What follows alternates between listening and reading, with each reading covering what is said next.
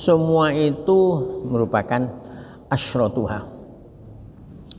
Jadi Rasulullah itu pernah ketika di masjid begini, tahu-tahu ada satu orang datang dengan pakaian yang sangat putih, eh, rambut yang sangat hitam. Semua yang hadir tidak ada yang kenal. Mestinya kalau tidak ada yang kenal berarti apa? Wong ini. Ya, ini dari jauh ini. Tapi dilihat tidak ada tanda-tanda kesel, tidak ada kemeringet dada. Berarti apa? Aneh, ya. Jadi orangnya bajunya putih, rambutnya hitam, terus tapi tidak ada tanda-tanda pepergian jauh. Tapi yang hadir tidak ada yang kenal. Begitu datang langsung lututnya itu dipertemukan dengan lutut Nabi. Dan dua tangannya ditaruh di paha Nabi. Sambil menyatakan, mal iman. Iman itu apa Rasul? Nabi nyalakan, iman itu ada enam. Percaya kepada Allah, kepada setelah itu, setelah selesai enam, sodakta. Kamu benar Katanya Sayyidina Umar dalam hatinya, orang ini takon, tapi kalau dijawab kok bilang kamu benar, berarti apa? Berarti tahu orang. Mal Islam, Islam itu apa? Islam itu ada lima, ini, ini, ini, ini. Setelah itu, sodakta, kamu benar. Mal ihsan, ihsan itu apa? Nah, Nabi menyatakan, nah, karena ihsan ini cuma pendek, langsung saya bilang ke anu apa namanya bahasa Arabnya anta budallah ka annaka tara fa ilam takun tara fa innahu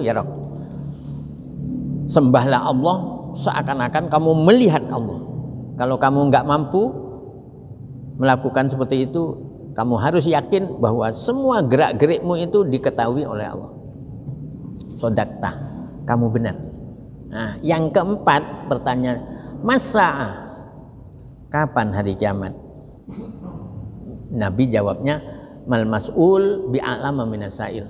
Yang ditanya tidak lebih tahu dari yang bertanya. Artinya apa?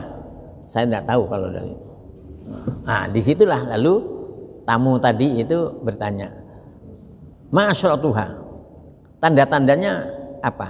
Nah, Nabi menyatakan bahwa antalidal amatu rabbataha.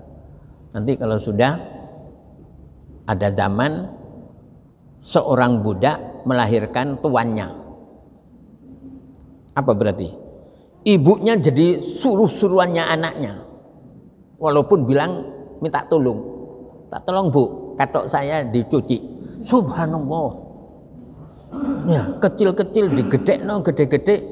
Ibunya disuruh nyuruh, disuruh nyuci katoknya. Nah, jangan itu.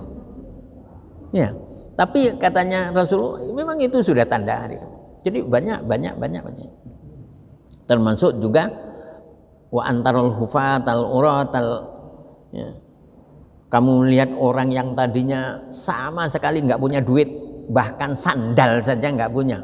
Tapi setelah itu dia itu bangun apa gedung yang tinggi. Kan banyak juga kan ceritanya.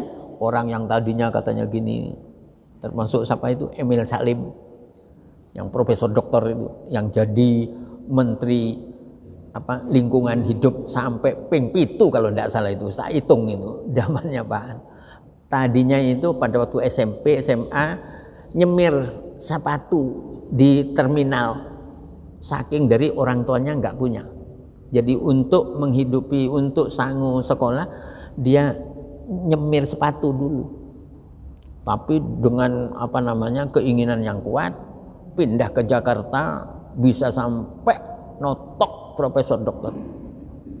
Dan sampai sekarang kalau sudah bicara lingkungan hidup mesti bapak lingkungan hidup adalah nah, jadi orang yang tadinya papa yang gini sekarang itulah. Tapi lagi-lagi kita tidak tidak perlu khawatir ya. Pokoknya ajaran agama kita kita laksanakan insya Allah kita ya selamat dunia akhirat.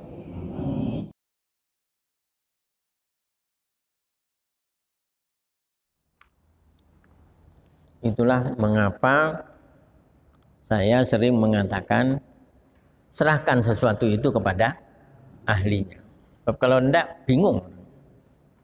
Minuman beralkohol haram. Bahkan dihukumi najis. Najis. Karena najis maka tidak boleh di, diminum. Tetapi mengapa buah-buahan yang mengandung alkohol itu tidak diharamkan? Seperti duren. Ya, itu ada yang meneliti mengandung alkohol itu 14, 14 persen. Tapi tidak ada orang yang mengatakan adurino haramun. Oh, tidak ada itu. Duren, apa, anggur, jambu, mente. Wah, jambu mente itu keras lagi. Tapi tidak, tidak. Berarti apa? Berarti yang diharamkan itu adalah minuman beralkohol, bukan alkoholnya. Lah ini perlu jenengan pahami itu.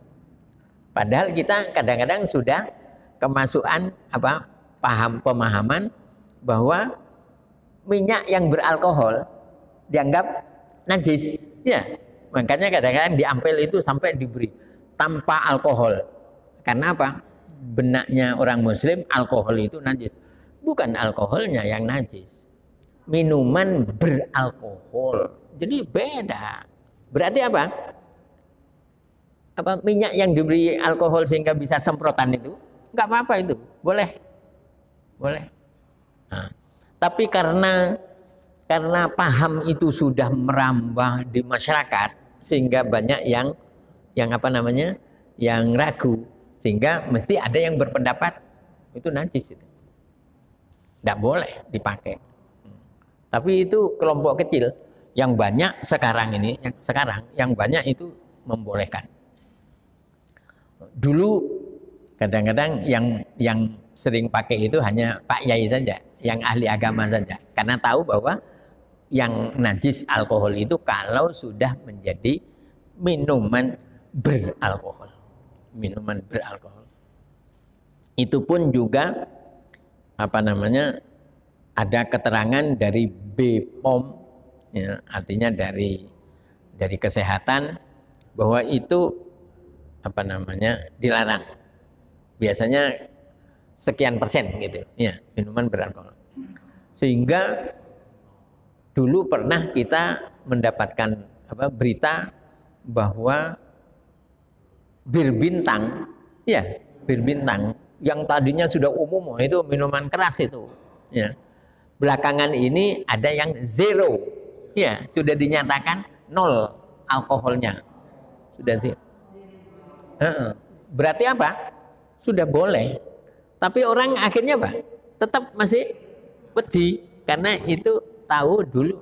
Nah, itulah mengapa dalam Islam itu sebetulnya nama itu juga berpengaruh. Ya. Jangan makanan yang enak diberi nama yang apa itu? Anjing itu apa anjing?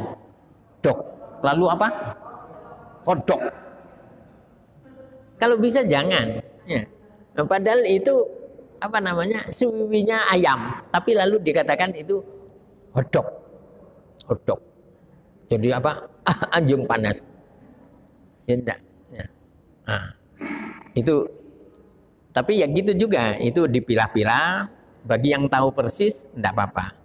Tapi bagi umum, biasanya itu tahunya, oh itu sudah ada kata-kata anjing, ya berarti sudah. Gitu. Jadi kembali ke pertanyaan, mengapa apa buah-buahan yang beralkohol itu tidak dilarang? Karena memang yang dilarang itu hanyalah minuman beralkohol atau ya obat tidur obat tidur enggak enggak apa-apa. Uh -uh.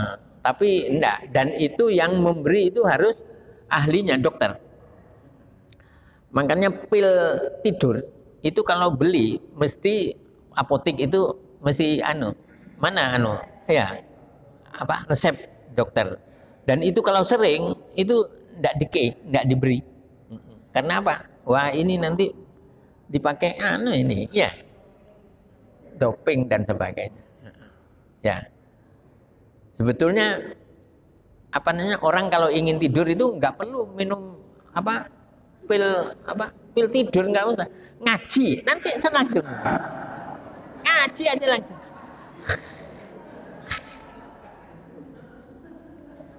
Jadi ngaji ini termasuk obat tidur. Semoga ada manfaatnya. Al-Fatihah Bismillahirrahmanirrahim